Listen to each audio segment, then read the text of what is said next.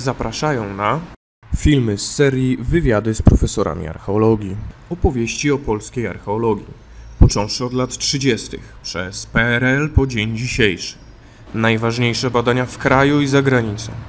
Życie rodzinne. Na syn znalazł się na wykopaliskach, jak miał 6 miesięcy. Wielcy badacze i prawdziwe przygody.